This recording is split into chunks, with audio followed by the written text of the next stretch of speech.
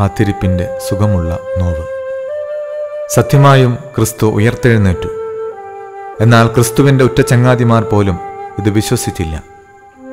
എമാവസിലേക്ക് പോയവർക്ക് ക്രിസ്തു ഒരു വഴിയാത്രക്കാരൻ. കഥകടച്ച് ഭയന്നിരുന്ന ശിശുഗണത്തിന് മുൻപിൽ പ്രത്യക്ഷപ്പെട്ടപ്പോൾ അവർക്കവൻ ഭൂതമായിരുന്നു.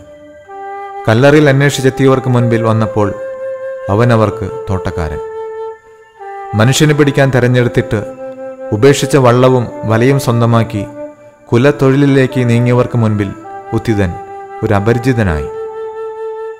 എന്നാൽ ഇവയുടെയെല്ലാം അവസാനം ഓരോരുത്തരും ഉത്തിതനെ അനുഭവിച്ചറിഞ്ഞു.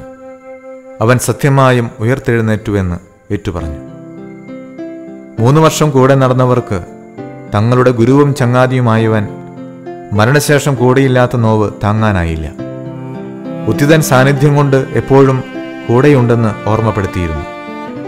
ഓരോ സ്വർഗാരോഹണ തിരുനാളുകളും നമുക്ക് ക്രിസ്തു വഴി നടത്തിയ അനുഭവങ്ങളും അവൻ ചങ്ങാതിയായി കൂടെ നടന്ന നിമിഷങ്ങളും സഹചാരിയായി മാറിയ യാത്രകളുമായിരുന്നു. അതുകൊണ്ട് അവന്റെ സാന്നിധ്യം അറിയാതെ പോയ വിനാഴികയും നാളുകളുമെല്ലാം ഒരു നോവോടെ ധ്യാനിക്കാം.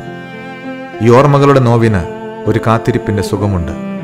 അതെ ഓരോ സ്വർഗാരോഹണ തിരുനാളും ആത്മാവിനായി കാത്തിരിക്കാനും ഉജ്ജ്വലിക്കാനുമുള്ള വേളകളാണ്. അവൻ സ്വർഗാരോഹണം ചെയ്തത് ഒറ്റയ്ക്കാകാനല്ല മറിച്ച് പ്രവചനങ്ങൾ പൂർത്തീകരിച്ച് ആത്മാവായി കൂടെ നടക്കാനായിട്ടാണ്. വിട്ടുപോകാത്ത സന്തത സഹചാരിയായി ഈ സ്വർഗാരോഹണ തിരുനാളിൽ ആത്മാവിനായി നമുക്ക് പ്രാർത്ഥനാപൂർവം കാത്തിരിക്കാം.